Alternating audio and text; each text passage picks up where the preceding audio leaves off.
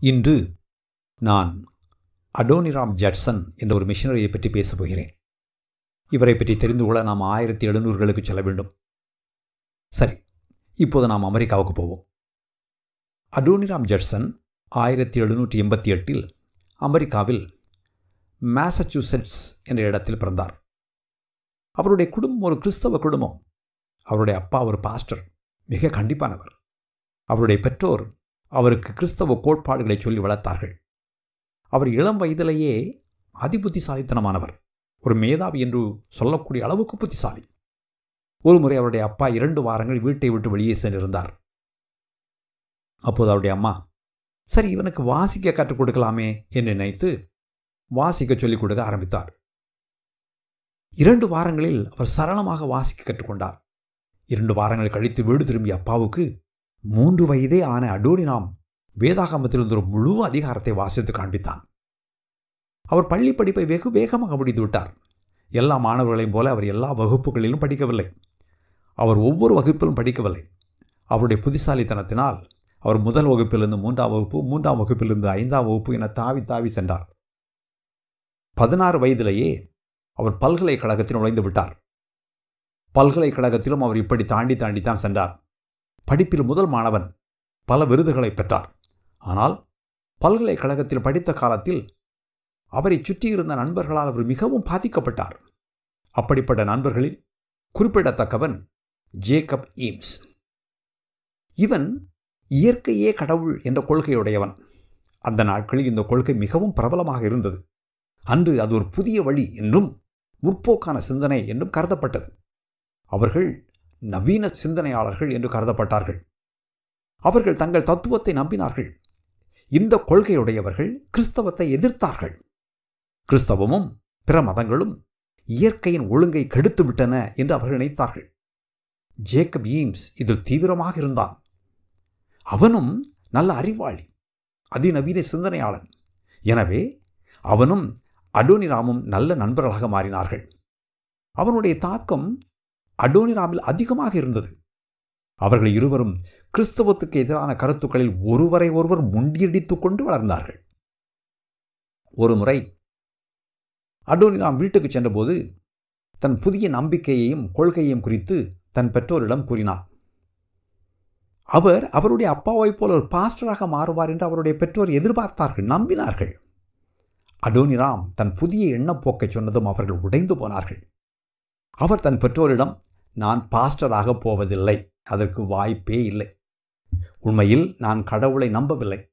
நிச்சயமாக இயேசுவையோ வேதாகமத்தையோ நம்பவே இல்லை. எனவே நான் உங்கள் அடிச்சுவடுகளை பின்பற்றப் போவதில்லை என்று உறுதியாக தெரிவித்தார். அவருடைய அணுகுமுறையும் புதிய சிந்தனையும் கிறிஸ்தவத்துக்கு எதிரான அவருடைய போக்கும் அவருடைய பெற்றோரின் இருதயத்தை உடைத்து நொறுக்கின. அவருடைய பெற்றோர் அவருக்காக ஒவ்வொரு நாளும் ஜெபிக்க ஆரம்பித்தார்கள். அவர் வெறுமனே முற்போக்கான சிந்தனையோடு நிறுத்த விரும்பவில்லை. முற்போக்கான வாழ்க்கை முறையையும் அவர் விரும்பினார். அன்றைய நாட்களில் அறிவு ஜீவிகள் சிக்கிக் கொண்ட வழக்கமான துறைகளில் அவர் சிக்கிக்கொள்ள விரும்பவில்லை. அவர் நாடகங்களுக்காக எழுத விரும்பினார். அதுவே அவருடைய இலக்கு. எனவே அவர் நியூயார்க்குக்கு சென்று நாடகங்களுக்காக கதைவசனம் எழுதி அந்த துறையில் பேரும் புகழும் பெற வேண்டும் என்று விரும்பினார். தன் இலக்கை எட்ட அவர் தன் பெற்றோரிடம் கொஞ்சம் பணம் கேட்டார். அவர்கள் பணம் கொடுத்தார்கள். ஒரு குதிரையும் கொடுத்தார்கள். அவைகளை வாங்கி கொண்டு அவர் நியூயார்க்குக்கு புறப்பட்டார். நாடக உலகம் அவர் எதிர்பார்த்தது போலவோ நினைத்தது போலவோ இருக்கவில்லை. நாடக உலகத்தை பற்றி அவர் லட்சிய கனவுகள் வைத்திருந்தார். உயர்ந்த லட்சியங்கள் வைத்திருந்தார்.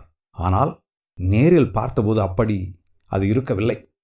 எனவே ஐந்து வாரங்களுக்கு பிறகு அவர் வீட்டுக்கு திரும்பிச் செல்ல முடிவு செய்தார். மேசச்சூசெட்ஸிற்கு வீட்டுக்கு செல்லும் வழியில் அவர் நெடுஞ்சாலையில் இருந்த ஒரு சாதாரணமான சத்திரத்தில் தங்கினார்.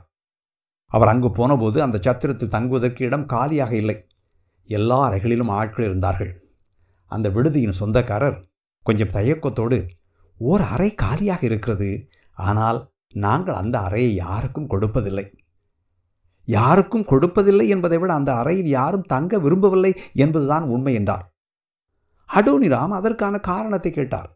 அதற்கு அவர் அந்த அறைக்கு பக்கத்து அறையில் தங்கியிருப்பவர் உடல்நிலை சரியில்லாமல் இருக்கிறார். அவர் எப்போதும் கத்திக்கொண்டு அழுகிறார். அடுத்த அறையில் இருப்பவர்களால் ஓய்வெடுக்கவோ உறங்கவோ முடியாது. எனவே யாரும் அந்த அறையில் தங்குவதில்லை. நிச்சயமாக நீங்கள் அங்கு தங்க விரும்ப மாட்டீர்கள் என்றார். அதற்கு அடோனிராம் அந்த அறையில் தங்குவதற்கு எனக்கு எந்த ஆட்சேபனையும் இல்லை. அடுத்த அறையில் யார் தங்கியிருக்கிறார்கள் அவர்கள் என்ன செய்கிறார்கள் என்பதை பற்றி எனக்கு கவலையே இல்லை. என்னை பொறுத்தவரையில் மரணம் ஒன்றுமில்லை. பரலோகம் நரகம் என்று ஒன்று கிடையாது. அதெல்லாம் முட்டாள்தனமான பேச்சு என்று திமிரோடு பதில் சொன்னார். எனவே விடுதிக்காரர் அந்த அறையை அடோனிராமுக்கு கொடுத்தார். அடோனிராம் அன்றிரவு அந்த அறையில் தங்கினார். அன்றிரவு அவர் அந்த அறையில் படுத்துக் கொண்டிருந்த போது பக்கத்து அறையில் இருந்த மனிதனின் கூக்குரலையும் கதறலையும் அழுகையையும் அவர் கேட்டார். தாங்க முடியாத அளவுக்கு மோசமாக இருந்தது. அவரால் தூங்க முடியவில்லை. இரண்டு அறைகளுக்கும் இடையில் இருந்த சுவர் மிகவும் மெல்லிய சுவர். எனவே அடுத்த அறையில் இருந்த சத்தம் மிக தெளிவாக கேட்டது. அவருடைய கதறல் முனகல் வேதனை அழுகை கூக்குரல் அனைத்தும் தெளிவாக கேட்டன. அடுத்த அறையில் இருந்தவன் தனக்குத்தானே பேசிக்கொள்வதையும் கேட்க முடிந்தது. அடோனிராம் பதற்றம் அடைந்தார். உலகத்தை பற்றி ஜேக்கப் ஈம்ஸும் அவரும் பேசிய எல்லாவற்றையும் அவர் ஒருமுகப்படுத்த முயன்றார். எனினும் அவருக்குள் இருந்த பதற்றம் நீங்கவில்லை. மிகவும் சங்கடப்பட்டார். உண்மையில் அவர் படுத்திருந்தபோது அடுத்த அறையில் அந்த படுக்கையில் இப்போது நான் படுத்துக்கொண்டு இறந்து கொண்டிருந்தால் எப்படி இருக்கும்? நான் மரணத்தை எதிர்கொள்ள தயாராக இருக்கிறேனா? என்ற கேள்வி அவருக்குள் எழுந்தது. அந்த இரவு முழுவதும் அவரால் கொஞ்சம் கூட தூங்க முடியவில்லை. காலையில் விடுதியை விட்டு வெளியேற கீழே சென்றார். விடுதியின் மேலாளரிடம் அந்த அறையில் இருப்பவன் எப்படி இருக்கிறான்? இப்போது பரவாயில்லையா? என்று விசாரித்தார். அதற்கு அந்த மேலாளர் இல்லை. அவன் இன்று அதிகாலையில் இறந்து விட்டான். அவனுடைய இறப்பு வலிக்கிறது. ஏனென்றால் அவனும் உன்னைப் போல ஒரு வாலிபன் தான் என்று கூறினார். உடனே அடோனினாம் எந்த காரணமும் இல்லாமல் அவருடைய பெயர் என்ன என்று கேட்டார். அந்த விடுதிக்காரர் அவனுடைய பெயர் ஜேக்கப் ஈம்ஸ் என்று கூறினார். அடோனிராம் ஆடி போனார் பக்கத்து அறையில் அழுது கொண்டிருந்தது பயத்தில் கத்திக் கொண்டிருந்தது ஓலமிட்டு அலறிக் கொண்டிருந்த என் நண்பனா? இந்நாள் வரை என் வாழ்வில் நான் மாதிரியாக கருதிய என் நண்பனா? என் சிந்தனைகளையும் உலக கண்ணோட்டத்தையும் உருவாக்கிக் கொள்ள நான் யாரை முன்மாதிரியாக கொண்டிருந்தனோ அந்த நண்பனா? என்று அங்கலாய்த்தார். நடுநடுங்கினார் அவர் தன் குதிரையில் ஏறி பயணத்தை தொடர்ந்தார். எங்கு போகிறோம்? என்று தெரியாமலே சவாரி செய்தார். ஆனால் அவருடைய காதுகளில் இறந்தான் இழந்தான் இழந்தான் இறந்தான் என்ற வார்த்தைகள் ஒலித்து கொண்டே இருந்தன. இந்த நிகழ்ச்சியும் அனுபவமும் அவரை தேவனை நோக்கி உந்தி தள்ளின. அவர் தேவனை தேடுவதற்கு இந்த அனுபவம் ஒரு தொடக்கமாக அமைந்தது. நான் எவ்வளவு முட்டாளாக இருந்திருக்கிறேன். என்னுடைய உலக கண்ணோட்டமெல்லாம் வெறுமை மாயை என்று அவர் உணரத் தொடங்கினார். அவர் வீட்டுக்கு திரும்பிச் சென்றபோது நான் ஆண்டோவரில் உள்ள இறையல் கல்லூரிக்கு போய் இறையல் படிக்க விரும்புகிறேன் என்று தன் பெற்றோரிடம் கூறினார்.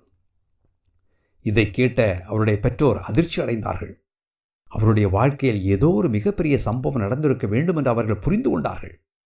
அடோனிராம் மிகவும் மாறியிருந்தார். ஆனால் அந்த நேரத்தில் அவர் ரட்சிக்கப்பட்டிருந்தார் என்று சொல்ல முடியாது. இறையியல் கல்லூரியில் சேர்ந்து படிக்க ஆரம்பித்த கொஞ்ச நாட்களில் அவர் உண்மையிலேயே ரட்சிக்கப்பட்டார். ஆண்டோவரில் இறையியல் கல்லூரியில் படித்துக் கொண்டிருந்த காலத்தில் நற்செய்தி அறிவிப்பதற்காக வெளிநாடுகளுக்கு மிஷனரியாக செல்வதை பற்றியும் பிற இடங்களுக்கு செல்வதை பற்றியும் தொலைதூர நாடுகளுக்கு செல்வதை பற்றியும் அவர் சிந்திக்கத் தொடங்கினார். ஒரு பிரிட்டிஷ் இராணுவ அதிகாரி பர்மாவை பற்றி எழுதியிருந்த சில தகவல்கள் அவருக்கு கிடைத்தன. இன்று மியான்மர் என்று அழைக்கப்படுவது அன்று பர்மா என்று அழைக்கப்பட்டது. அந்த காலகட்டத்தில் பர்மாவை பற்றி யாருக்கும் ஒன்றும் தெரியாது. மேலும் ஆயிரத்தி எண்ணூறுகளில் நற்செய்தி அறிவிக்க வெளிநாடுகளுக்கு செல்வது குறிப்பாக மிஷனரியாக தொலைதூர நாடுகளுக்கு செல்வது என்பது அசாதாரணமான ஒரு காரியம். அதுவரை அமெரிக்காவிலிருந்து யாரும் வெளிநாடுகளுக்கு மிஷனரியாக செல்லவில்லை. மிஷனரிகளை அனுப்புவதற்கு அதுவரை அமெரிக்காவில் மிஷன் அமைப்பு போன்ற எதுவும் இருந்ததில்லை. அடோனிராமும் வேறு சில மாணவர்களும் சேர்ந்து நற்செய்தி அறிவிப்பதற்காக வெளிநாடுகளுக்கு மிஷனரிகளை அனுப்புவதற்கும் அவர்களுக்கு உதவுவதற்கும் நிதி சேர்க்க முயன்றார்கள். பல்கலைக்கழகத்திலேயே இதற்கான முயற்சிகள் எடுத்தார்கள். பர்மாவுக்கு செல்ல வேண்டும் என்ற பலமான உணர்வு அடோனிராமுக்குள் எழுந்தது. ஆனால் பர்மாவை பற்றி அன்று யாருக்கும் எதுவும் தெரியாது. ஓர் இராணுவ அதிகாரி எழுதியிருந்த சில குறிப்புகளை தவிர பர்மாவை பற்றிய எந்த தகவலும் எங்கும் கிடைக்கவில்லை. அவருடைய வருங்கால மனைவி ஆன் ஹசல்டான் ஒரு சமூகவாதி. அவருடைய குடும்பம் பெரிய குடும்பம். அவர்கள் வாழ்ந்த வீடு மிகப்பெரிய வீடு. வசதியான குடும்பம். அவர் கடைசி மகள். விருந்துகளுக்கும் கேளிக்கைகளுக்கும் பலர் அவளை விரும்பி அழைத்தார்கள். அவள் பிறரிடம் மிகவும் சகஜமாக பழகக்கூடியவர். எனவே மக்கள் அவளை மிகவும் விரும்பினார்கள். அந்த நாட்களில் எல்லோரையும் போல் அவர்களும் ஆலயத்துக்கு போய் வந்தார்கள் ஆராதனைகளில் கலந்து கொண்டார்கள். ஆனுக்கு சுமார் பதினாறு வயது இருக்கும் அப்போது ஒரு புதிய போதகர் வந்தார். அவர் வந்த பிறகுதான் அவர் தன் வாழ்க்கையில் முதல் முறையாக தன் விசுவாசத்தை பற்றி சிந்திக்க ஆரம்பித்தார். இந்த புதிய ஆசிரியர் ஞாயிற்றுக்கிழமை பள்ளியில் மட்டுமல்ல வேறு பல இடங்களிலும் பேசினார். அந்த சபையில் ஒரு பெரிய எழுப்புதல் ஏற்பட்டது. உண்மையில் ஆனின் குடும்பத்தார் அனைவரும் தங்கள் வாழ்நாள் முழுவதும் ஆலயத்துக்கு சென்று வந்தபோதும் ஆராதனைகளில் கலந்து கொண்டபோதும் அவர்கள் யாரும் ரட்சிக்கப்படவில்லை என்பதை உணர்ந்தார்கள். ஆனால் இப்போது அவர்கள் அனைவரும் ரட்சிக்கப்பட்டார்கள். ரட்சிக்கப்பட்டவுடன் தன்னிடம் தேவனுக்கு பிரியமில்லாத மோசமான பழக்கங்கள் நிறைய இருப்பதை அவள் உணர்ந்தாள். அவளுடைய அந்த இளம் வயதில் கிறிஸ்தவளாக வாழ்வதில் அவளுக்கு நிறைய போராட்டங்கள் இருந்தன. எனினும் அவள் கிறிஸ்துவுக்குள் வளர்ந்தாள். தான் இதுவரை மிகவும் அற்பமான வாழ்க்கை வாழ்ந்திருப்பதை அவள் உணர்ந்தாள். ஏனென்றால் அதுவரை அவளுடைய எண்ணங்கள் எல்லாம் எப்படி இருந்தன தெரியுமா? அடுத்த நிகழ்ச்சிக்கு போகும்போது எந்த தொப்பி அணிய வேண்டும்? தலைமுடியை எப்படி அலங்கரிக்க வேண்டும்? என்ன உடை உடுத்த வேண்டும்? என்ன பொருட்கள் வாங்க வேண்டும்? அடுத்த நிகழ்ச்சி எங்கே? அடுத்த விருந்து எங்கே? என்பவை போன்ற காரியங்களை சிந்திப்பதில்தான் அவள் தன் நேரத்தை செலவிட்டாள். வேறு காரியங்களை பற்றி அவள் சிந்திக்கவே இல்லை. எனவே ரட்சிக்கப்பட்ட பின் அவள் தன் வாழ்க்கையை மாற்றிக்கொள்ள மிகவும் சிரமப்பட்டாள். தான் முன்பு செய்த தகாத செயல்களை இனி செய்யப் போவதில்லை என்றும் இனிமேல் வித்தியாசமாக இருக்கப் போவதாகவும் தீர்மானித்தாள். ஆனால் அவள் தீர்மானத்தின்படி நடக்க முடியவில்லை. அவள் தோற்று போனாள். மாம்ச சிந்தை தேவனுக்கு உரதுமான பகை என்ற வசனத்தை புரிந்து கொண்டதாக அவள் தன் நாட்குறிப்பில் எழுதி வைத்திருந்தாள். ரட்சிக்கப்பட்ட பிறகு அவள் தன் வாழ்க்கையை பற்றி மிகவும் வித்தியாசமாக சிந்திக்க ஆரம்பித்தாள். அவள் தன் வாழ்க்கையை வீணாக்க விரும்பவில்லை. எனவே அவள் ஒரு ஆசிரியராக முடிவு செய்தாள். அந்த வகையில் குறைந்தபட்சம் மற்றவர்களுக்கு உதவ முடியும் என்று அவள் நினைத்தாள். அவளுடைய நாட்குறிப்பை வாசிக்கும்போது அவள் எவ்வளவு வேகமாக வளர்ந்து கொண்டிருந்தாள் என்று புரிந்து கொள்ள முடிகிறது. கிறிஸ்தவர்கள் எந்த அளவுக்கு அதிகமாக கிருபையை அனுபவிக்கிறார்களோ அந்த அளவுக்கு அவர்கள் பரிசுத்தத்திற்கும் பாவத்திற்கும் இடையே உள்ள வித்தியாசத்தை புரிந்து கொள்வார்கள் என்று அவள் தன் பதினேழாவது வயதில் தன் நாளேட்டில் எழுதினாள். ஆன் குடும்பத்தார் விருந்தோம்பல் செய்வதில் மிகவும் ஆர்வமுடையவர்கள் பேர் பெற்றவர்கள் அவர்கள் கொடுத்த விருந்தோம்பலில் ஒரு நாள் அடோனிராம் கலந்து கொண்டார். ஆனும் அடோனிராமும் அப்போதுதான் ஒருவரை ஒருவர் முதன்முறையாக சந்தித்தார்கள்.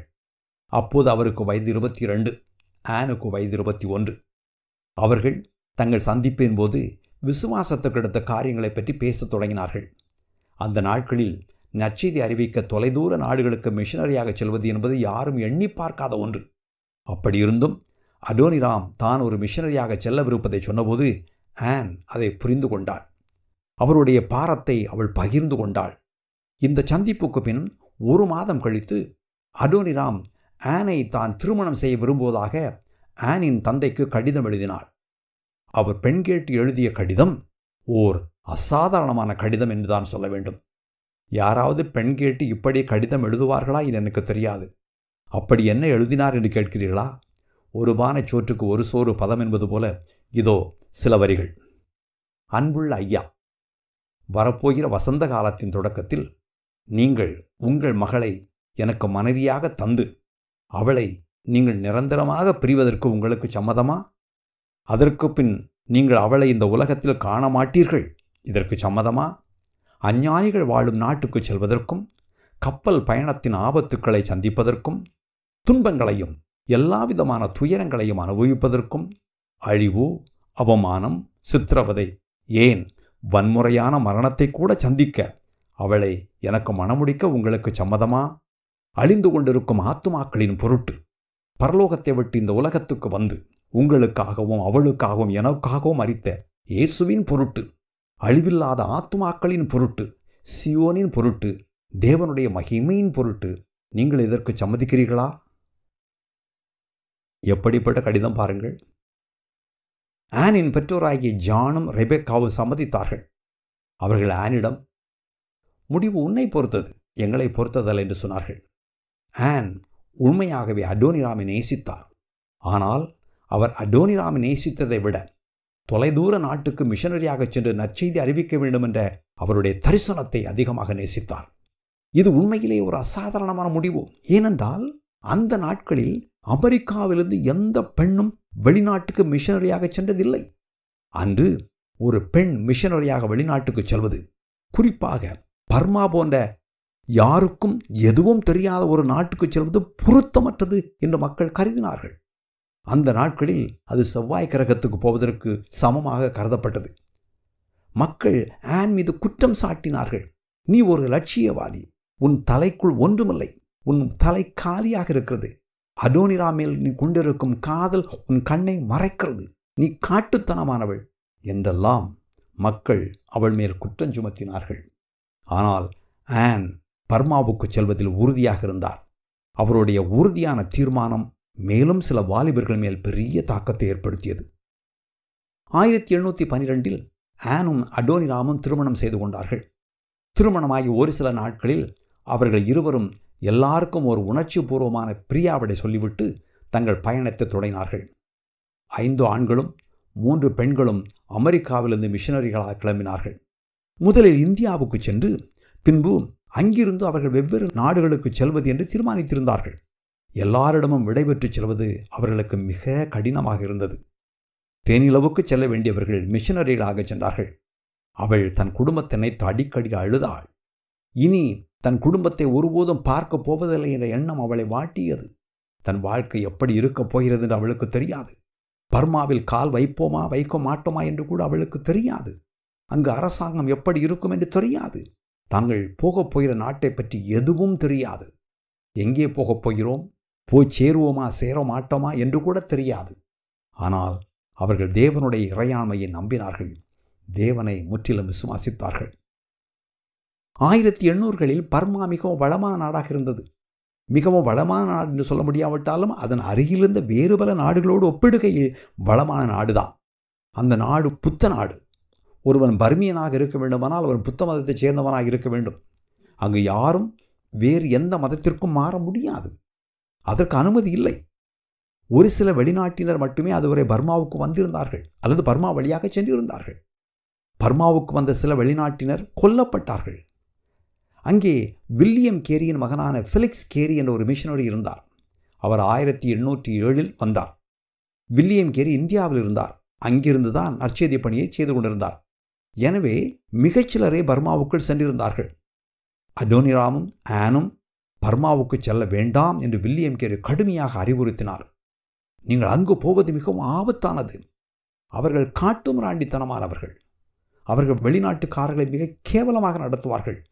அங்கு இருக்கும் அரசன் பயங்கரமான ஊழல் பேர்வழி.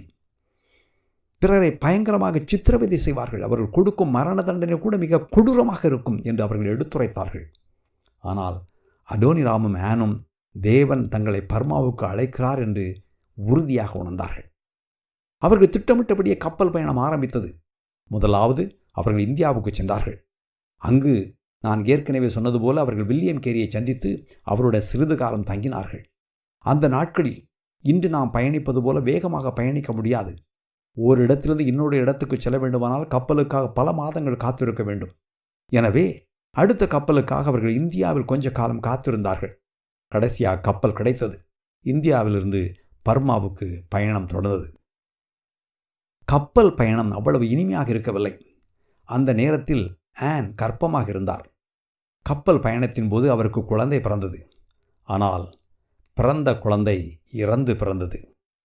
ஆன் மிகவும் நோய்வாய்ப்பட்டார்.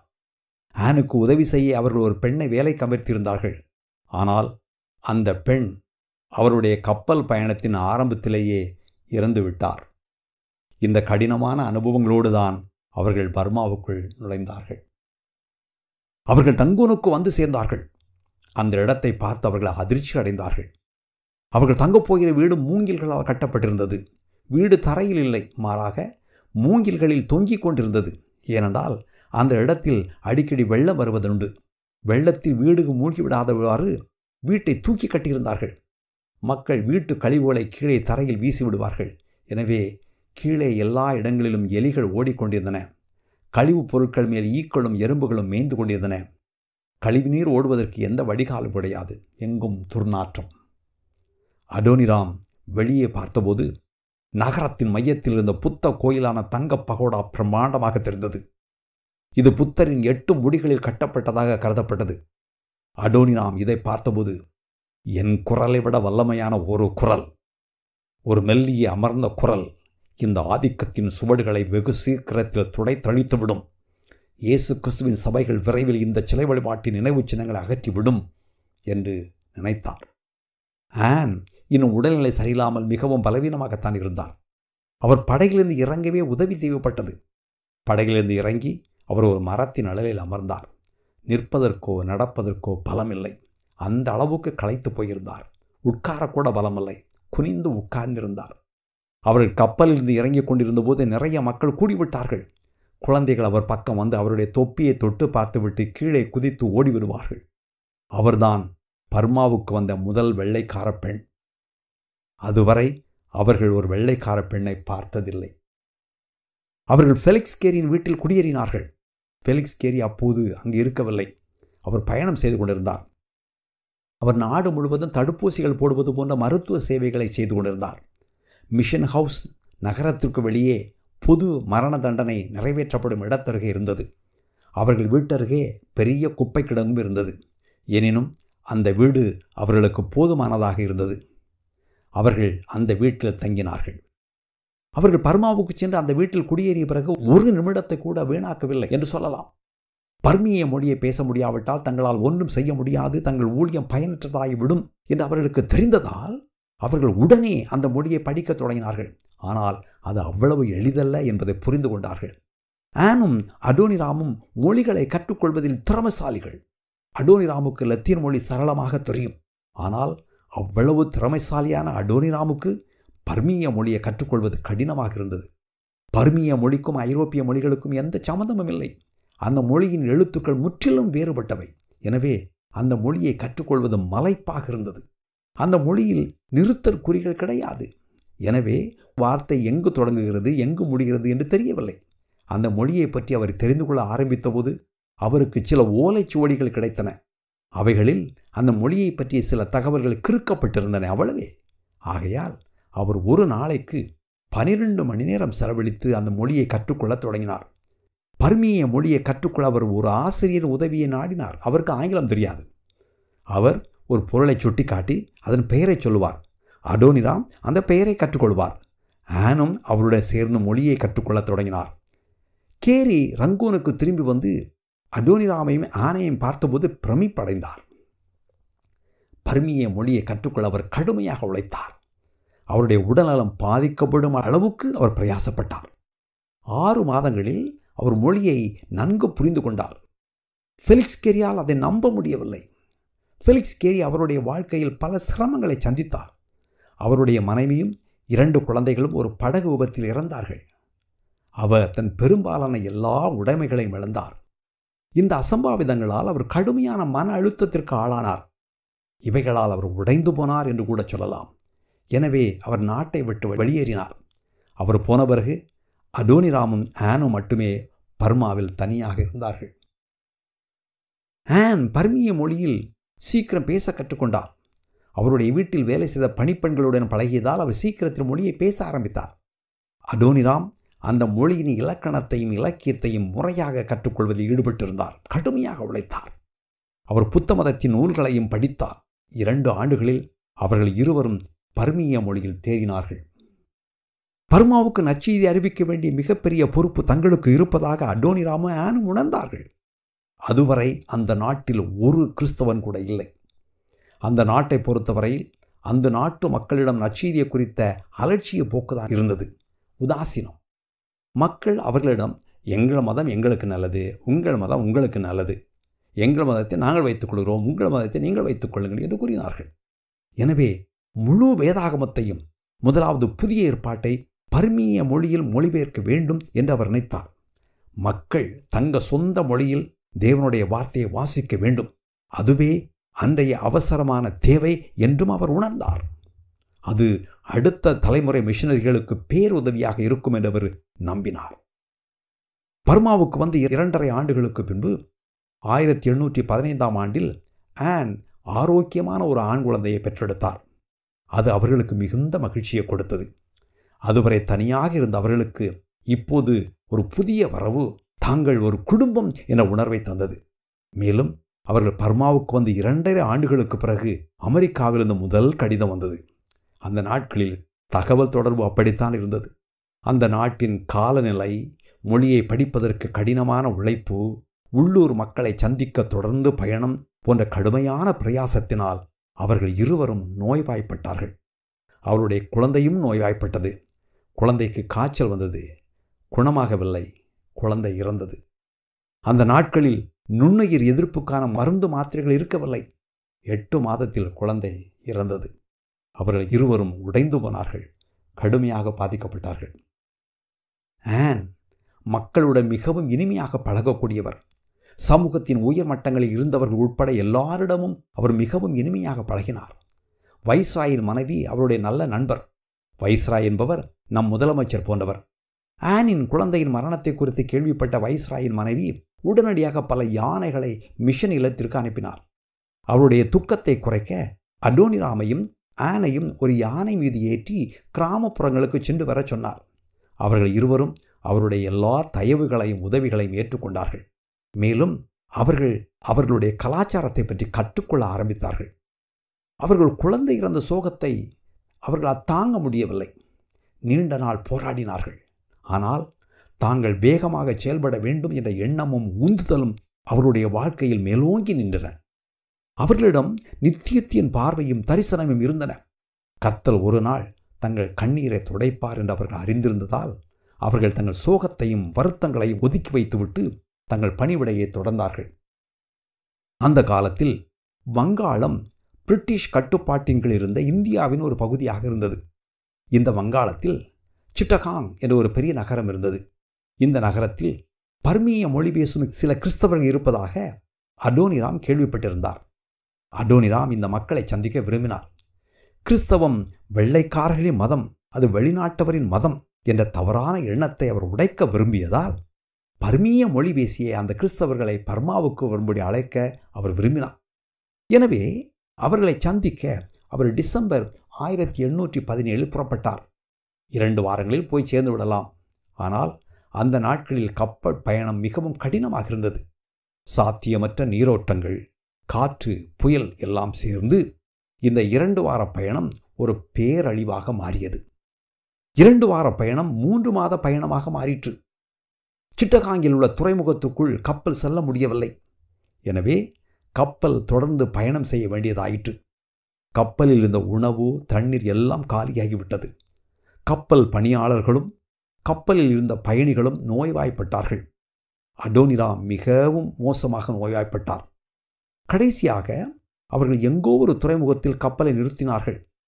அடோனிராம் தென்னிந்தியாவிற்கு நானூற்றி எண்பது கிலோமீட்டர் தரைவழியாக பயணித்தார். ஏனென்றால் அங்கிருந்துதான் ரங்கூனுக்கு கப்பல் உண்டு என்று அவர் கேள்விப்பட்டார். அங்கு அவர் மூன்று மாதங்கள் காத்திருந்தார். மூன்று மாதங்களுக்கு பிறகு அங்கிருந்து ஒரு கப்பல் ரங்கூனுக்கு கிளம்பியது. எனவே இரண்டு வார பயணம் ஆறு மாதங்களுக்கு மேலாக மாறிற்று. இதற்கிடையில் கப்பல் சிட்டகாங் துறைமுகத்தை அடையவில்லை என்ற செய்தியை ஆன் கேள்விப்பட்டார். ஆனால் கப்பல் என்னவாயிற்று என்று அவருக்கு தெரியாது. அவர் இதன் பொருள் என்ன? கப்பல் சிட்டகாங்குக்கு போய் சேரவில்லை என்றால் அது வேறு எங்கு போயிற்று? வேறு துறைமுகத்துக்கு சென்றதா? அல்லது கடலில் மூழ்கி விட்டதா அடோனினாம் இறந்து விட்டாரா? அல்லது உயிருடன் இருக்கிறாரா? என்று அவர் சிந்திக்க ஆரம்பித்தார். ரங்கோனில் உள்ள மிஷன் ஹவுஸில் காத்திருப்பதால் எந்த செய்தியும் கிடைக்கவில்லை. இந்த நிச்சயமற்ற நிலை மிக கொடுமையாக இருந்தது. இது மிக கனமான கடுமையான சோதனையாக இருந்தது. அவர் என்னை கொண்டு போட்டாலும் நான் அவர் மேல் நம்பிக்கையாக இருப்பேன் என்ற வசனத்தை தன்னால் வாழ முடியும் என்று அவர் தேவனிடம் வேண்டினார். ஆனால் அது மிகவும் கடினமாக இருந்தது. இந்த நேரத்தில் ஜார்ஜ் ஃபோபிஹக் என்ற மற்றொரு மிஷினரி தம்பதியினர் அமெரிக்காவிலிருந்து வந்திருந்தார்கள். அவர்கள் தங்களுடன் ஒரு அச்சு இயந்திரம் கொண்டு வந்தார்கள். அவர்கள் அடோனிராமும் ஆனும் எழுதியிருந்த கிறிஸ்தவத்தின் கொள்கைகள் நற்செய்தி கட்டுரைகள் போன்ற பலவற்றை அச்சடித்தார்கள். இந்த நேரத்தில் பிரிட்டனுக்கும் பர்மாவுக்கும் இடையே போர் மூலக்கூடும் என்ற வதந்திகள் வந்து கொண்டிருந்தன. எனவே ஜார்ஜும் ஃபோபிஹக்கும் போர் வரக்கூடும் என்ற வதந்தி இருப்பதால் நாம் நாட்டை விட்டு வெளியேறுவது நல்லது என்றார்கள். ரங்கோனிலிருந்து இந்தியாவிலுள்ள கல்கத்தாவுக்கு ஒரு கப்பல் புறப்பட ஆயத்தமாக இருக்கிறது என்று அவர்கள் கேள்விப்பட்டார்கள். பர்மாவை விட்டு வெளியேற வேண்டும் என்று அவர்கள் வலியுறுத்தினார்கள். எனவே ஜார்ஜும் ஃபோபியும் டிக்கெட்டுகள் முன்பதிவு செய்தார்கள். ஆனை தங்களோடு வருமாறு அவர்கள் கெஞ்சினார்கள். அவர்கள் அவளை தனியே விட்டுவிட்டு செல்ல விரும்பவில்லை. ஆனால் போவதா வேண்டாமா என்று ஆனினால் முடிவு செய்ய முடியவில்லை. இருப்பதா போவதா என்று தெரியவில்லை. அடோனிராம் எந்த நேரத்தில் வேண்டுமானால் திரும்பி வரலாம். அவர் திரும்பி வரும்போது தான் அங்கு இல்லை என்றால் என்னவாகும்? ஒருவேளை அவர் இறந்து போயிருந்தால் என்ன ஆகும்? அதன்பின் தான் என்ன செய்ய வேண்டும்? அவளால் எந்த முடிவுக்கும் வர முடியவில்லை. ஜார்ஜும் ஃபோபியும் அவளை அங்கு தனியே விட்டுவிட மறுத்தார்கள்.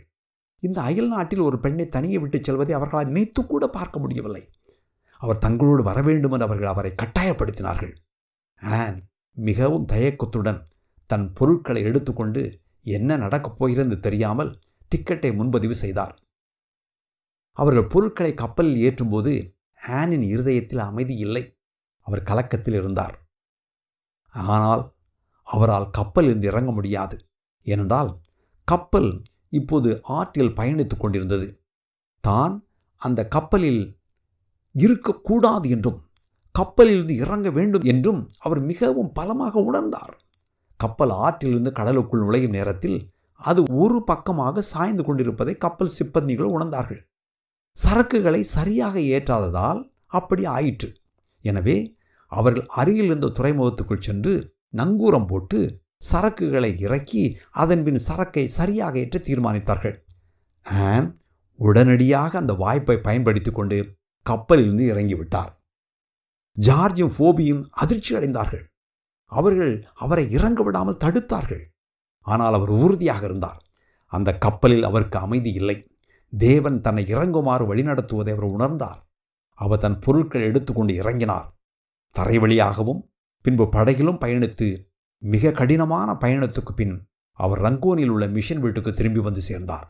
அங்கே அவர் தேவனை முற்றிலும் நம்பி தன்னையும் தனக்குரிய எல்லாவற்றையும் அவருக்கு கையளிக்க முடிவு செய்தார். அதன்பின் அவர் வழக்கம் போல் எழுதவும் மொழிபெயர்க்கவும் ஆரம்பித்தார். மூன்று நாட்களுக்கு பிறகு அடோனிராம் திடீரென்று வீட்டுக்கு வந்தார். அவர் சிட்டகாங்குக்கு போகவே இல்லை. அந்த பயணம் வீணாயிற்று. ஆனால் அவர்கள் இருவரும் எல்லாவற்றிலும் தேவனை நம்பி வாழ்வது போன்ற பெரிய பாடங்களை கற்றுக்கொண்டார்கள். நற்செய்தி அறிவிக்க பர்மிய மொழியை கற்றுக்கொண்டால் மட்டும் போதாது பர்மிய மக்களுடைய கலாச்சாரத்தையும் அறிந்து கொள்ள வேண்டும் என்று அவர்கள் உணர்ந்தார்கள். அவருடைய கலாச்சாரத்தை அறிந்து கொள்ளாமல் அவர்களை புரிந்து கொள்ள முடியாது என்பதை அவர்கள் அறிந்தார்கள். எனவே அவர்கள் மக்களுடைய கலாச்சாரத்தை கவனிக்க ஆரம்பித்தார்கள். அந்த சமுதாயம் எவ்வாறு செயல்படுகிறது என்பதை புரிந்து கொள்ள முயன்றார்கள். புத்த மதத்தில் காரியங்கள் எப்படி நிறுவப்பட்டிருக்கின்றன என்றும் புத்த மத போதகர்களை மக்கள் எப்படி அணுகுகிறார்கள் என்றும் அவர்கள் கவனித்தபோது ஜயாத் என்று அழைக்கப்படும் சிறிய இடங்கள் நாடு முழுவதும் பரவி கிடப்பதை அவர்கள் கண்டார்கள். இவை பெரும்பாலும் பிரதான வீதிகளில் இருந்தன. மக்கள் புத்த மதத்தை பற்றிய போதனைகளை தெரிந்து கொள்ள பெரிய கோவிலுக்கு செல்ல வேண்டிய அவசியமில்லை. அவர்கள் இந்த சாலையோர குடிசைகளுக்கு சென்றால் போதும். இந்த குடிசையின் முன்புறத்தில் மக்கள் உட்காரலாம். இது எப்போதும் திறந்திருக்கும். பயணிகள் நிழலுக்கு அங்கு ஒதுங்கி தேநீர் அருந்தலாம். புத்த மத போதகர்களும் அங்கு இருப்பார்கள். மக்கள் அங்கு வந்து உட்கார்ந்து பேசுவார்கள். அடோனி ராமா அப்படியே செய்ய முடிவு செய்தார். அவர் நகரத்திலிருந்து பெரிய பொற்கோவிலான பகோடா வரை செல்லும் பிரதான சாலையான பகோடா சாலையில் ஒரு குடிசையை கட்டினார். அந்த குடிசையின் முற்பகுதி திறந்த வழியாக இருந்தது. அவர் நாள் முழுவதும் அங்கே உட்கார்ந்து அங்கு வந்த மக்களை வரவேற்று அவர்களோடு பேசினார். ஆன் அந்த குடிசையின் பின்புறத்தின் மூடிய பகுதியில் உட்கார்ந்து அங்கு வந்த பெண்களை அழைத்து கொண்டு போய் அவர்களோடு இயேசு கிறிஸ்துவை பற்றி பேசினார். இது மிகவும் வெற்றியடைந்தது. ஏனென்றால் மக்களுக்கு இது மிகவும் பரிச்சயமான ஒன்று. விரைவில் அடோனிராம் ஒரு போதகர் என்று மக்கள் அறிந்து கொண்டார்கள். ஏப்ரல் முப்பது ஆயிரத்தி எழுநூற்றி பத்தொன்பது. அவர்கள் பர்மாவுக்கு வந்து ஆறு ஆண்டுகளுக்கு பிறகு ஒரு நபர் அந்த ஜயாத்தில் நின்று அடோனிராம் பேசுவதை கேட்டார். அவருடைய பெயர் மவுங் நாவ். இவர்தான் கிறிஸ்தவராக மாறிய முதல் பர்மியர். அவர் கிறிஸ்தவனாக மாறியதற்கு எந்த விதமான உள்நோக்கமும் இருக்க முடியாது. தான் ஒரு கிறிஸ்தவனாக மாறினால் நிச்சயமாக சித்திரவதைக்குள்ளாக நேரிடும் என்று அவருக்கு தெரியும். அடோனிராமும் ஆனும் மிகுந்த மகிழ்ச்சி அடைந்தார்கள். ஆறு வருட கடின உழைப்பு தொடர்ந்து மக்களை சந்தித்தல் மக்களுடன் பேசுதல் எழுதுதல் ஆகியவர்களுக்கு இப்போது பலன் கிடைத்தது. கர்த்தர் வேலை செய்து கொண்டிருந்தார். இந்த வாலிபன் வேத வசனங்களை ஆழமாக தேட ஆரம்பித்தான். மத்திய ஐந்து ஆறு ஏழாம் அதிகாரங்களாகிய மலைப்பிரசங்கத்தை முதன் முதலாக வாசிக்க கேட்டபோது அவனுடைய உடல் நடுங்கியதாம். இந்த போதனை மிகவும் வித்தியாசமானது என அவன் கூறினான். புத்தமதத்தின் மூலம் உலகை பற்றி அவனுடைய பார்வையிலிருந்து இது முற்றிலும் வேறுபட்டது என்று அறிந்தான். ஒரு சில வாரங்களிலேயே அவன் ஞானஸ்தானம் பெற்றான். இப்போது மூன்று பேர் கொண்ட இந்த சிறிய சபை முதன் முதலாக உட்கார்ந்து அப்பம் பெற்றார்கள். முன்னணி புத்தமத போதகர் உட்பட அதிகமான மக்கள் ஜயாத்துக்கு வர ஆரம்பித்தார்கள். இது அங்கிருந்த அரசு அதிகாரிகளின் கவனத்துக்கு வந்தது. அங்கு என்ன நடக்கிறது என்று தெரிந்து கொள்ள அதிகாரிகள் அங்கு வந்தார்கள். அங்கு நடப்பதை தெரிந்து கொண்ட அதிகாரிகள் அடோனினாவிடம் லஞ்சம் கேட்டார்கள். அவரிடமிருந்து பணம் பறிப்பதிலேயே அதிகாரிகள் குறியாக இருந்தார்கள் அது ஒரு வகையான துன்புறுத்தல். மேலும் கிறிஸ்தவர்கள் சித்திரவதை செய்யப்படுகிறார்கள் என்ற வதந்திகள் பரவின. கிறிஸ்தவனாக மாறினால் சித்திரவதை செய்யப்படுவார்கள் கொல்லப்படுவார்கள் என்று பயமுறுத்தப்பட்டார்கள். வெளிநாட்டவருடன் தங்களை இணைத்துக் கொள்பவர்களுக்கு தக்க தண்டனை கிடைக்கும் என்று பயமுறுத்தினார்கள். இப்படிப்பட்ட சிக்கல்களினால் அடோனினாமின் ஜயாத்துக்கு இப்போது வரக்கூடிய நபர்கள் யாரும் வரவில்லை. பார்வையாளர்கள் குறைந்து விட்டார்கள். ஆனாலும் இதற்கு முன்பே வேறு இரண்டு பேர் ஞானஸ்தானம் பெற்றார்கள். இப்போது பர்மாவில் மூன்று கிறிஸ்தவர்கள் மட்டுமே இருந்தார்கள். நிலைமை மிகவும் மோசமாகிவிட்டது. எல்லா பக்கங்களிலிருந்தும் பயமுறுத்தல்கள் வந்து கொண்டிருந்தன. எனவே அடோனிராம் கொஞ்சம் ஆபத்தான ஒன்றை செய்ய முடிவு செய்தார். அவர் அந்த நாட்டின் அரசருடன் பேச விரும்பினார். அரசன் நற்செய்தியை ஆர்வமாக கேட்டால் நற்செய்தியை அறிவிக்க நாட்டில் பெரிய வழி திறக்கும் என்று அவர் நினைத்தார். ஆகவே அடோனிராமும் ஜேம்ஸ் கோல்மன் என்ற ஒரு மற்றொரு மிஷனரியும் மவுனாவும் அரசனை சந்திக்க ஐநூறு கிலோமீட்டர் தூரம் பயணம் செய்து அவாவுக்கு சென்றார்கள். அரசனுக்கு கொடுக்க அவர்கள் பர்மிய மொழியில் பல்வேறு துண்டு பிரசங்களை கொண்டு சென்றார்கள். ஆனால் அரசன் அவர்கள் சொன்னதை கேட்டு அவர்கள் கொடுத்த துண்டு பிரசங்களை வாங்கி தரையில் வீசி எறிந்தான். பர்மாவின் குடிமக்கள் எவரும் வெளிநாட்டு மதத்திற்கு மாற அனுமதிக்கப்பட மாட்டார்கள் என்று ஒரு ஆணை பிறப்பித்தான். அவர்கள் பாதுகாப்பாக வெளியேற்றப்பட்டார்கள். அவர்கள் ரங்கூனுக்கு திரும்பி வந்தார்கள். அந்த நேரத்தில் மூன்று பர்மிய கிறிஸ்தவர்கள் மட்டுமே இருந்தார்கள். அவர்களை சந்தித்து இது மிக கடினமான நேரம். இப்போது நாம் வேறு எங்காவது செல்வதுதான் நல்லது. ஏனென்றால் நாம் இங்கு இருந்தால் பயமுறுத்தல்கள் தொடர்ந்து வந்து கொண்டே இருக்கும். இங்கு இனிமேல் மக்கள் நாம் சொல்வதை கேட்க மாட்டார்கள் என்று சொன்னார்கள். அடோனிராமை அங்கேயே தங்குமாறு இந்த புதிய விசுவாசிகள் கெஞ்சினார்கள். அவர்கள் இப்போதுதான் தங்கள் கிறிஸ்துவ பயணத்தை தொடங்கியிருந்தார்கள். விசுவாசத்தில் இன்னும் குழந்தைகளே அவருடைய உற்றார் உறவினர் நண்பர் அண்டை அயலகத்தார் என பலர் இயேசுவை பற்றி தெரிந்து கொள்ள விரும்பினார்கள். ஆனால் பகிரங்கமாக அதை வெளியே சொல்ல மிகவும் பயந்தார்கள் என்று அவர்களுக்கு தெரியும். வெந்த முன்னில் வேல் பாய்ச்சுவது போல அடோனிராமும் ஆனும் காலரா நோயினால் பாதிக்கப்பட்டார்கள்.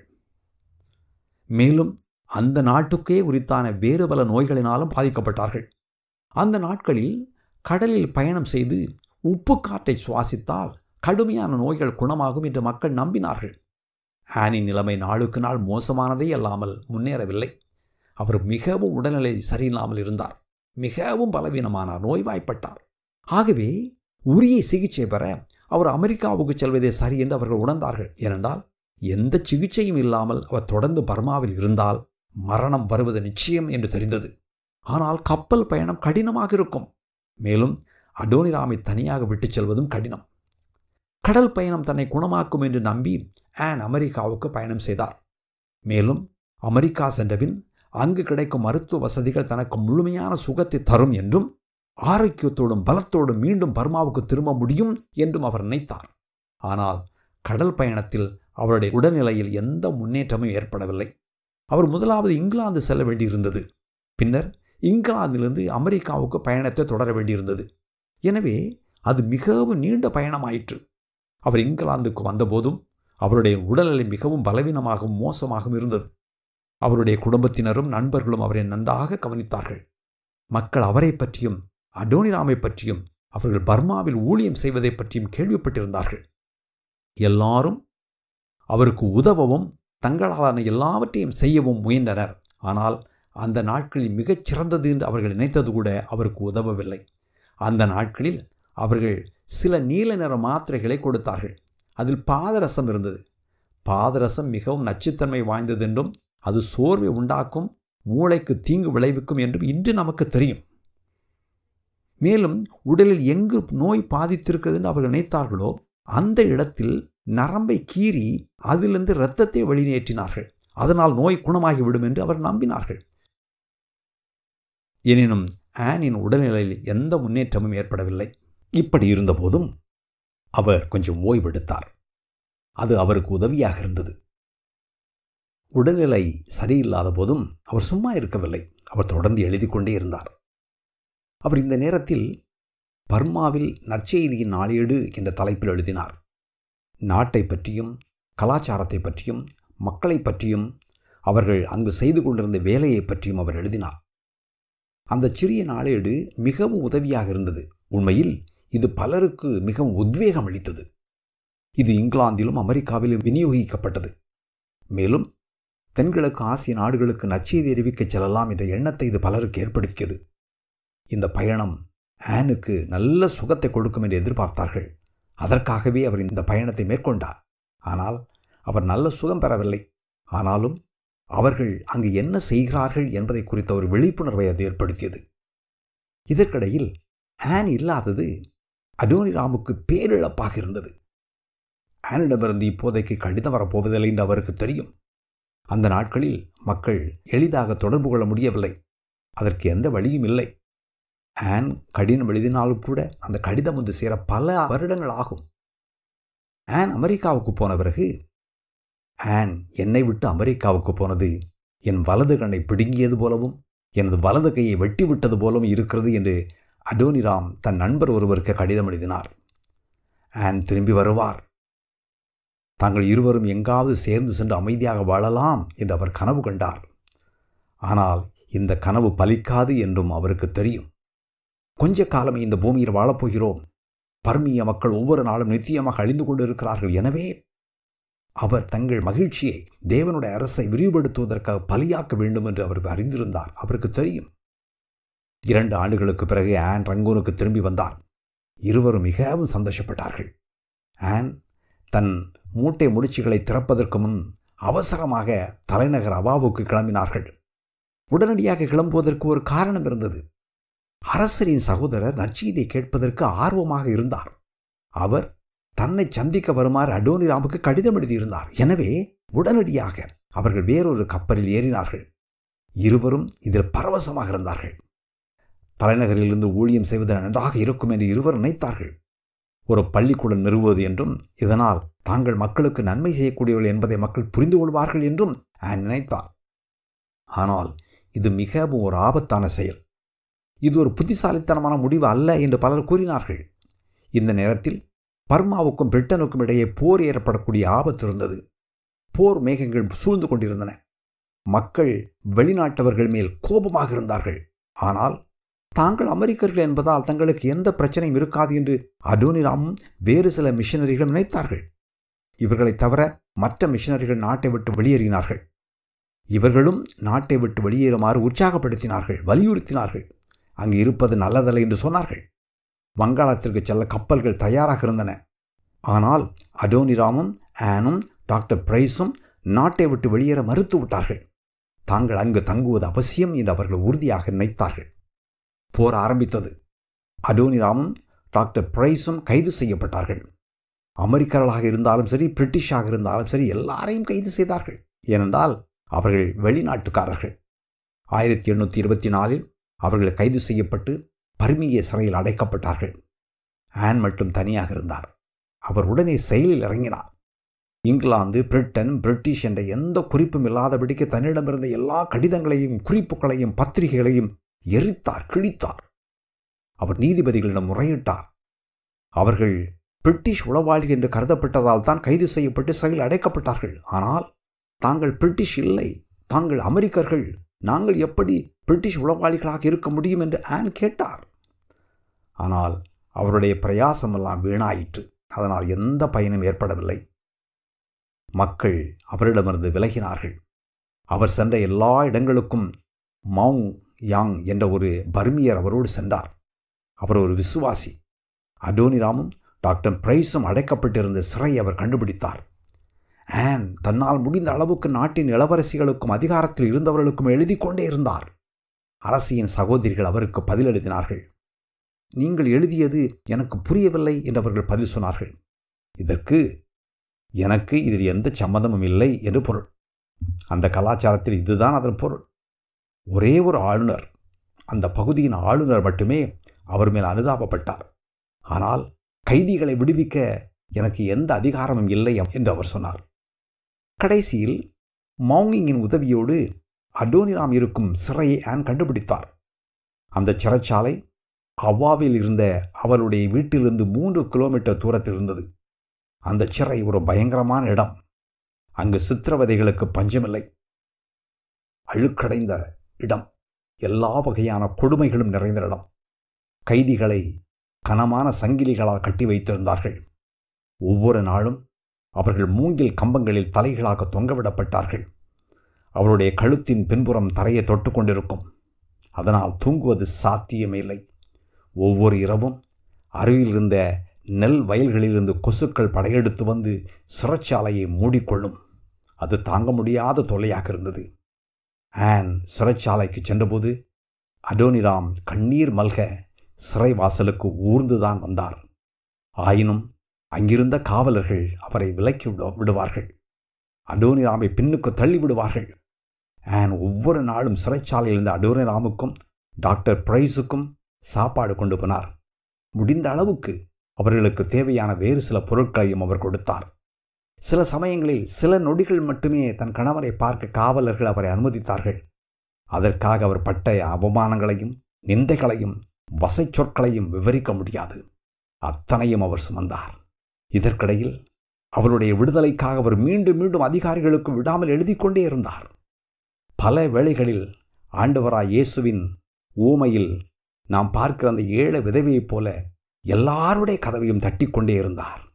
அவர் செய்த இன்னொரு மிக முக்கியமான காரியம் என்னவென்றால் அடோனிராம் பத்து ஆண்டுகளாக மொழிபெயர்த்துக் கொண்டிருந்த புதிய ஏற்பாட்டை ஒரு தலையணைக்குள் மறைத்து வைத்து அதை அடோனிராமிடம் கொடுத்து விட்டார். தனக்கு எப்போது வேண்டுமானாலும் என்ன வேண்டுமானாலும் நேரிடலாம் என்றும் அதனால் அது சிறைச்சாலையில் அடோனிராமிடம் இருப்பதுதான் பாதுகாப்பானது என்றும் அவர் உணர்ந்தார்.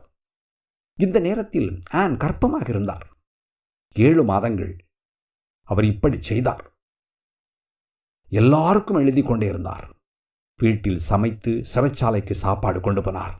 அடோனிராமை சந்திக்க சிறை அதிகாரிகளுக்கு லஞ்சம் கொடுத்தார். அடோனிராமின் விடுதலைக்காக அவமானங்களை சகித்தார் பட்டினி கிடந்தார் சுகத்தை இழந்தார். ஏழு மாதங்களுக்கு மேல் அவரால் தொடர்ந்து செய்ய முடியவில்லை. பிரசவ காலம் வந்தது. எந்த துணையும் இல்லாமல் தனியாகவே அவர் ஆயிரத்தி எண்ணூற்றி இருபத்தி ஐந்தில் மரியா ஜட்சனை பெற்றெடுத்தார். குழந்தை பிறந்து மூன்று வாரங்களுக்கு பிறகு உடல் கொஞ்சம் தேறிய பிறகு அவர் மீண்டும் சமைத்து எடுத்துக்கொண்டு அடோனிராமை பார்க்க சிறைச்சாலைக்கு புறப்பட்டார். பிறந்து மூன்று வாரங்களே ஆன மரியாவை தன் உடலோடு கட்டிக்கொண்டார். அடோனிராம் தன் மனைவியையும் புதிதாக பிறந்த குழந்தையையும் சந்திக்க சிறைவாசலுக்கு ஊர்ந்து வந்தார். அவர் தன் மகளுக்கு ஒரு கவிதை எழுதினார். இன்பம் துன்பம் கலந்த ஒரு ஆழமான கவிதை. இதோ அந்த கவிதையின் ஒரு பகுதி. என் கண்ணே நீ ஏன் உன் கண்ணை திறந்தாய்? என் அன்பே நீ எதைக்கான உன் கண்களை திறந்தாய்? உன் துன்பத்தாயின் கூன் முதுகை காணவா? உன் தந்தையின் வேதனையை காணவா? உன்னதத்தில் தேவன் விற்றிருக்கிறார். அவர் மகிமையான அரசர். உன் தாய் இந்த தேவனிடம் ஜெபிக்கிறார். தனியாக அமர்ந்து இந்த தேவனுடைய அன்பை பாடுகிறார். என் அன்பே கிருபையுள்ள இந்த தேவனுக்கு நான் உன்னை ஒப்புக் கொடுக்கிறேன் தேவனே திக்கற்ற அனாதைகளுக்கு நீரே தந்தையும் நண்பனுமாயிரும். போர் பர்மாவுக்கு பாதகமாக போய்க்கொண்டிருந்தது அரசன் மிகவும் கோபமாக இருந்தான். எல்லா வெளிநாட்டு கைதிகளையும் கொலை செய்ய வேண்டும் என அவன் விரும்பினான். ஆன் ஆளுநருக்கு தொடர்ந்து எழுதி கொண்டிருந்தார். அது பலனளித்தது. அந்த ஆளுநர் ஆனிடம் அடோனிராமை என்னால் விடுதலை செய்ய முடியாது. ஆனால் அவருடைய மரண தண்டனையை என்னால் நிறுத்த முடியும். நான் அதை செய்வேன் என்று வாக்குறுதி அளித்தார். ஆளுநரை நம்பலாமா? என்று ஆனுக்கு நிச்சயமாக தெரியவில்லை. ஒரு நாள் ஒரு உத்தரவு பிறப்பிக்கப்பட்டது. அந்த உத்தரவின்படி எல்லா கைதிகளையும் சிறையிலிருந்து வெளியே இழுத்து கொண்டு ஒன்றாக கட்டி அவர்களை நகரத்திலிருந்து வெளியே இழுத்து கொண்டு போனார்கள். மிக கொடூரமாக இழுத்துச் செல்லப்பட்டார்கள். வெறும் கால்களாலும் பாதினி பட்டினி கிடந்தும் எங்கோ ஒரு இடத்துக்கு அணி அணியாக இழுத்துச் சென்றார்கள். ஆன் மீண்டும் கவர்னரிடம் முறையிட்டார். அவர் அவளிடம் நீங்களோ நானோ உங்கள் கணவருக்காக இதற்கு மேல் எதுவும் செய்ய முடியாது. இனி நீங்கள் உங்களை கவனித்துக் கொள்ளுங்கள் என்று கையை விரித்து விட்டார். ஆளுநர் சொன்னதை ஆன் புறக்கணித்துவிட்டு அடூரிராமை கொண்டு போகும் இடத்துக்கு தானும் போக தீர்மானித்தார். அவர் கைதிகளை பின்தொடர முடிவு செய்தார். அவருக்கு உண்மை உத்தமமான ஒரு சமையல்காரர் இருந்தார். அவர் தானும் ஆனுடன் வருவதாக சொன்னார். மவுங்கிங் என்ற விசுவாசி கைதிகளை எங்கு கொண்டு செல்கிறார்கள் என்று தகவல்களை சேகரித்தார். மிஷன் ஹவுஸை பாதுகாக்க அவர் அங்கு தங்கினார். அடோனிராம் தன்னுடன் எதையும் எடுத்துச் செல்லவில்லை. அப்படியானால் அவர் மொழிபெய்த்துக் கொண்டிருந்த புதிய ஏற்பாடு என்னவாயிற்று? கைதிகளை சிறையிலிருந்து வெளியே கூட்டிக் கொண்டு போன பிறகு மவுங்கிங் சிறைக்குள் நுழைந்து அடோனிராம் வைத்திருந்த தலையணையை எடுத்துக்கொண்டு வந்தார். ஏனென்றால் அவர்கள் மொழிபெயர்த்து கொண்டிருந்த புதிய ஏற்பாடு அந்த தலையணைக்குள் தான் இருந்தது. ஆன் குழந்தை மரியாவை தன் மார்பில் கட்டிக்கொண்டு அவருடைய சமையல்காரரோடும் அவர்கள் தத்தெடுத்திருந்த இரண்டு பர்மிய குழந்தைகளோடும் அடோனிராமை கொண்டு போன ஓங் பன்லா என்ற இடத்துக்கு நடக்க ஆரம்பித்தார்கள். அடோனிராம் அங்கு நடந்து சென்றார். எத்தனை கிலோமீட்டர் தூரம் என்று தெரியவில்லை. ஆனால் நீண்ட தூரம் நடந்தே சென்றார். சுடு மணல் அனல் காற்று வெறுங்காலால் நடந்து சென்றார். அவருடைய கால்களில் கொப்புளங்கள் ஏற்பட்டன. தாங்க முடியாத வலி வேதனை எல்லாவற்றையும் முடிவுக்கு கொண்டு வர அவர் ஆசைப்பட்டதால் தன் வாழ்க்கையை முடித்து கொள்ளலாமா என்று கூட சிந்திக்க ஆரம்பித்தார். சாலையின் ஓரத்திலிருந்து ஆற்றில் குதித்து விடலாமா எண்ணம் என்ற எண்ணம் எழுந்தது. அவ்வளவு கடினமாக இருந்தது.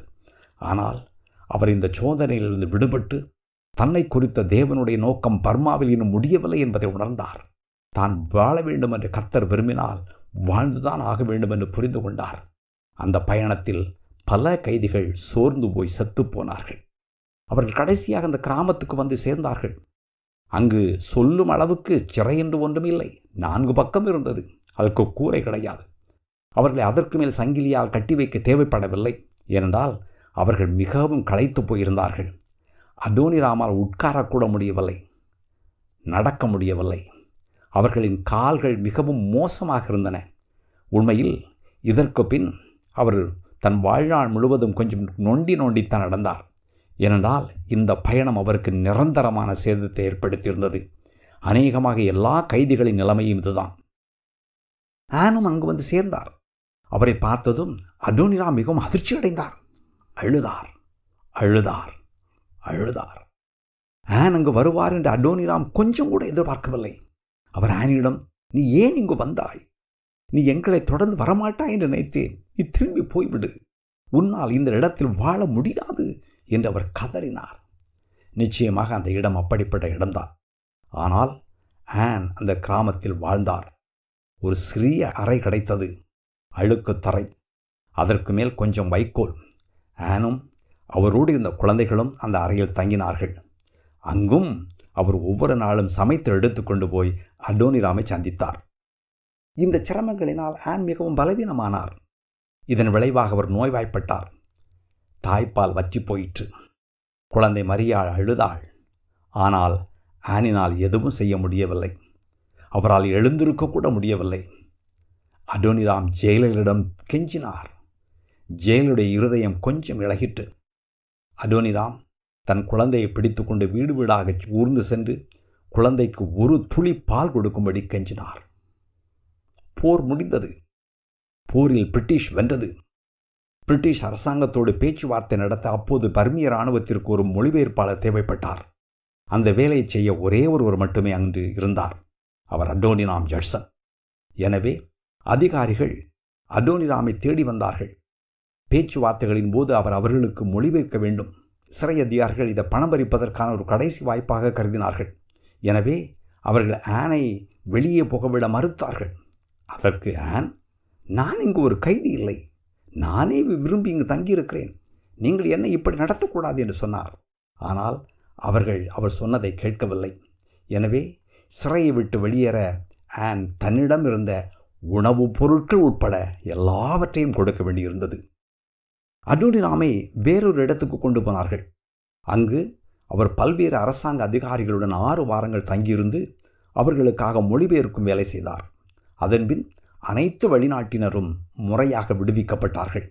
இந்த விசாரணை கிட்டத்தட்ட இரண்டு ஆண்டுகள் நீடித்தது. அவர்கள் இருவரும் தப்பிப்பிழைத்தது அதிசயமே. ஆனால் இருவரும் உடைந்து போனார்கள். எலும்பும் தோலுமாகிவிட்டார்கள் அவர்கள் பழைய ஆட்கள் இல்லை. அடையாளம் காண முடியாத அளவுக்கு அவர்கள் மாறிவிட்டார்கள். ஆன் நடந்த எல்லாவற்றையும் சிந்தித்து பார்த்தால் நாங்கள் செய்தது சரியா? எங்களை நாட்டை விட்டு வெளியேறுமாறு நண்பர்கள் சொன்னபோது வெளியேறி இருக்க வேண்டுமோ? பிடிவாதமாக தங்கியது தவறோ? நாங்கள் ஏன் அவருடைய ஆலோசனை கேட்கவில்லை? ஒருவேளை நாங்களும் அவர்களுடன் வெளியேறி இருக்க வேண்டுமோ? என்றெல்லாம் சிந்தித்து பார்த்தார். ஆனால் அந்த நேரத்தில் தங்களுக்கு சரி என்று தோன்றியதை நல்ல மனசாட்சியுடன் செய்ததாக அவர்கள் உணர்ந்தார்கள். இறைமையா பத்தாம் அதிகாரத்தில் மனுஷனுடைய வழி அவனாலே ஆகிறதல்லவென்றும் தன் நடைகளை நடத்துவது நடக்கிறவனாலே ஆகிறதல்லவென்றும் எழுதியிருக்கிறபடி அவர்கள் இருவரும் உணர்ந்தார்கள். ஆனால் இந்த கடுமையான இரண்டு ஆண்டுகளின் துன்பங்கள் வீணாகிவிடக்கூடாது என்று ஆன் தேவனிடம் ஜெபித்தார். அவர் ஒரு கடிதத்தில் எழுதியது போல இந்த நேரத்தில் அவருக்கு பிடித்த குறிக்கோள் பூமியில் நாங்கள் தேவனை சேவிக்கிறோம் பரலோகத்தில் அவரை போகிறோம் இப்போது நாடு பிரிட்டிஷ் கட்டுப்பாட்டில் இருந்ததால் அவர்களுக்கு நிறைய சுதந்திரம் இருந்தது. தங்களுக்கு முன்னால் இருந்த புதிய வாய்ப்புகள் குறித்து அவர்கள் மிகவும் நம்பிக்கையுடன் இருந்தார்கள். அவர்கள் உடனடியாக மீண்டும் வேலை செய்ய தொடங்கினார்கள். அவர்கள் மிஷன் ஹவுஸில் குடியேற முடிவு செய்தார்கள். அவர்கள் அங்கு வந்து குடியேறியவுடன் அடோனிராமுக்கு மீண்டும் ஒரு வாய்ப்பு கிடைத்தது. இப்போது அங்கு ஒரு புதிய அரசாங்கம் இருந்தது. சூழ்நிலைகள் மாறியிருந்தன. அரசரிடமும் அரச குடும்பத்திடமும் பேசுவதற்கு மற்றொரு வாய்ப்பு கிடைக்கலாம் என்றும் நாடு முழுவதும் பயணம் செய்ய அதிக சுதந்திரம் கிடைக்கலாம் என்றும் அவர் நினைத்தார். இவைகளுக்கு மூன்று அல்லது நான்கு மாதங்கள் ஆகலாம் அதன் வீட்டுக்கு திரும்பலாம் என்று அவர் நினைத்தார். வழக்கம் போல பயணம் எப்படி இருக்கும் என்று திட்டவட்டமாக சொல்ல முடியவில்லை. நவம்பர் மாதத்தில் திரும்பி விடலாம் நம்பிக்கையில் அவர் ஜூலை மாதம் புறப்பட்டார். ஆனால் அவர் நவம்பர் மாதம் திரும்பி வரவில்லை. ஆயிரத்தி எண்ணூற்றி இருபத்தி ஆறு நவம்பர் இருபத்தி நாலாம் தேதி அவருக்கு ஒரு கடிதம் வந்தது. அந்த கடிதத்தில் திருமதி ஜட்சன் இறந்துவிட்டார் என்று எழுதியிருந்தது. ஆன் ஒரு மாதத்திற்கு முன்பே இறந்து விட்டார் முந்தைய ஆண்டுகளில் ஏற்பட்ட துன்பங்களினால் அவருடைய உடல்நிலை மிகவும் மோசமடைந்தது. நோய்வாய்ப்பட்டு இறந்து போனார்.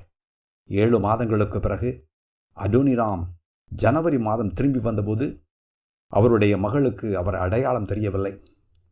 அடோனிராம் ஆனின் கல்லறைக்கு சென்று அழுதார். அழுதார். அவருடைய கணவரின் இரத்தவடியும் இதயத்திலிருந்து அவள் பிரிந்து விட்டாள். ஆனால் எல்லையற்ற ஞானமும் அன்பும் என்றும் போல் கோலோச்சுகிறது. எல்லாம் சரி என்று விசுவாசம் தீர்மானிக்கிறது. நித்தியம் விசுவாசத்தின் முடிவை விரைவில் உறுதிப்படுத்தும் என்று எழுதினார். ஊட்டச்சத்து குறைபாடுகளினால் குழந்தை மரியா ஆறு மாதங்களுக்கு பிறகு இறந்துவிட்டாள் அடோனிலா மாலா துயரத்தில் மூழ்கினார். அவர் உடைந்து போனார். அப்போது ஜார்ஜ் சாரா ஃபோர்ட்மேன் இந்த இரண்டு மிஷனரிகள் அமெரிக்காவிலிருந்து வந்திருந்தார்கள். அவர்கள் அடோனிராமை ஆறுதல் படுத்த முயன்றார்கள். ஆனால் அவரை சமாதானப்படுத்த முடியவில்லை. இருப்பினும் உள்ள உறுதியுடன் அவர் தன் நற்செய்தி பணியை தொடர்ந்தார். அவர் வேதாகமத்தை தொடர்ந்து மொழிபெயர்த்து கொண்டிருந்தார். தொடர்ந்து எழுதினார். ஆனால் அவர் மக்களிடமிருந்து விலகி காட்டில் தனியாக வசித்தார். அடோனிராமிற்கு இது மிகவும் இருண்ட நேரம். அவர் மகிழ்ச்சியாக இல்லை. தேவனுடைய பிரசனத்தை தான் உணரவில்லை என்று அவர் எழுதினார். அவர் தன்னை ஆராய்ந்து பார்க்க தொடங்கினார். எல்லாவற்றையும் கைவிட விரும்பினார். ஒரு மிஷனரியாக இருப்பதில் பெருமைப்படுவதாக இருந்தால் அதையும் விட்டுவிட தயாராக இருந்தார். மிகவும் கஷ்டப்பட்டார். இது அவருடைய ஆத்மாவுக்கு மிகவும் இருண்ட நேரம். ஆனால் அவர் தன் விசுவாசத்தில் உறுதியாக இருந்தார்.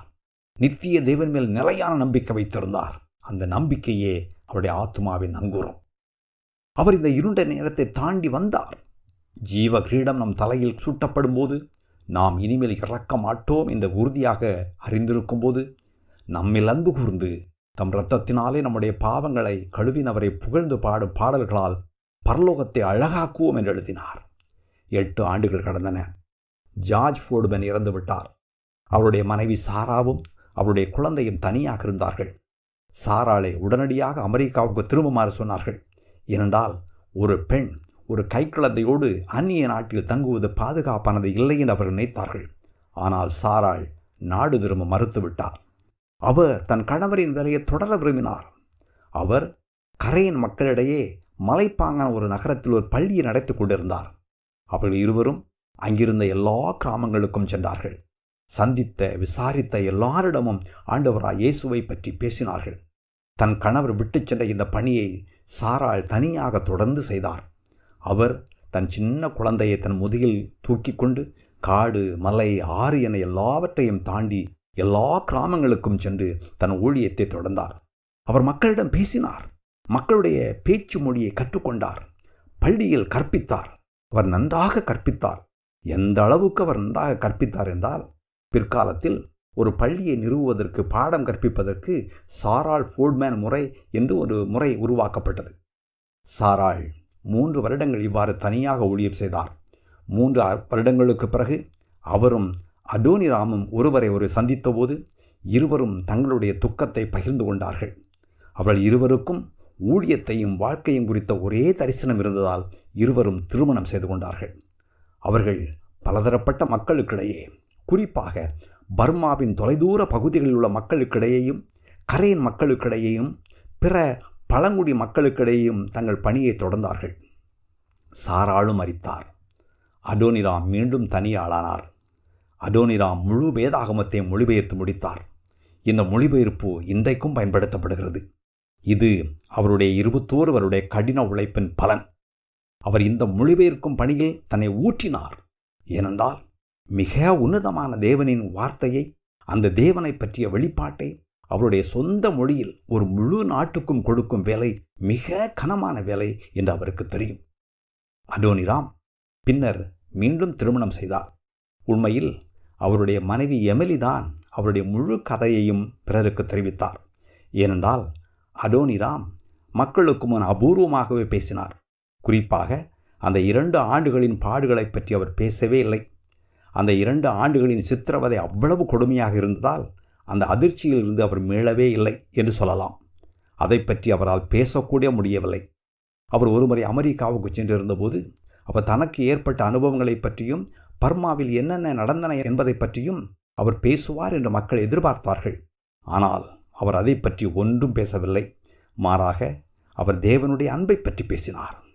அடோனிராமின் உடல்நிலை மிகவும் மோசமாக இருந்தது. அவருக்கு வயதாகவில்லை. ஆனால் அவருடைய பிற்காலத்தில் அவரால் கிசு கிசு என்று தான் பேச முடிந்தது. அப்படி பேசும்போது கூட அவர் இரத்த வாந்தி எடுத்தார். பழுதுடைந்த அவருடைய கால்கள் முழுமையாக குணமடையவில்லை. அவருடைய கணுக்கால் சிதைந்து போயிருந்தது. அவரால் ஒருபோதும் சரியாக நடக்க முடியவில்லை. உடல் நலத்துக்கு சாதகமாக இருக்கும் என்ற நம்பிக்கையோடு அவர் ஜூன் ஆயிரத்தி எண்ணூற்றி ஐம்பதில் ஒரு கப்பல் பயணத்தை மேற்கொண்டார். ஆனால் அந்த பயணத்தில் அவர் இறந்துவிட்டார் அப்போது அவருக்கு வயது அறுபத்தி ஒன்று. அவர் சொன்ன கடைசி வாக்கியங்களில் ஒன்று மிக கடினமாக இறக்கின்றவர்கள் மிகச்சிலர். அவருடைய உடல் வங்காள விரிகுடாவில் வீசப்பட்டது. நான்கு மாதங்களுக்கு பிறகு எமிலி இதை தெரிந்து கொண்டார். அடோனிராமும் ஆனும் அவருடைய வாழ்நாளில் அவருடைய உழைப்பின் பலனை அதிகமாக காணவில்லை. ஆனால் தேவன் பர்மிய மக்களிடையே வல்லமையாய் செயலாற்றினார். முதலாவது ஒரே ஒருவர் மட்டுமே கிறிஸ்துவை ஏற்றுக்கொண்டார். பின்னர் பல ஆண்டுகளாக சுமார் பத்து அல்லது பதினெட்டு பேர் இருந்திருக்கலாம். ஆனால் அதோனிராம் இறந்து சிறிது காலத்திலேயே அவருடைய முப்பத்தி எட்டு ஆண்டு ஊழியத்தின் பலனாக சுமார் ரெண்டு லட்சத்தி பத்தாயிரம் பேர் கிறிஸ்துவை ஏற்றுக்கொண்டார்கள் என்று கூறப்படுகிறது. அடோனிராமும் ஆனும் தம் சபையை கட்டியெழுப்ப தேவன் சபைக்கு அருளிய இரண்டு கொடைகள். தேவனுடைய சபையை கட்டியெழுப்ப இருவரும் தங்கள் உடல்களை தேவனுக்கு பிரியமும் பரிசுத்தமுமான ஜீவனுள்ள பலியாக ஒப்புக் கொடுத்தார்கள் அவர்கள் அதை மீண்டும் மீண்டும் செய்தார்கள். ஆன் எழுதிய மிக மிக எளிமையான ஆனால் வாழ கடினமான ஒரே ஒரு வாக்கியத்தோடு நான் முடிக்கப் போகிறேன். அவர் அதை வாழ்ந்தார் மிக தெளிவாக வாழ்ந்தார். இன்னும் கொஞ்ச காலம் பின் நாங்கள் நித்தியத்தில் இருப்போம். அங்கு போவதற்கு முன் இங்கு கிறிஸ்துவுக்காக முடிந்ததை செய்வோம். ஆமன்.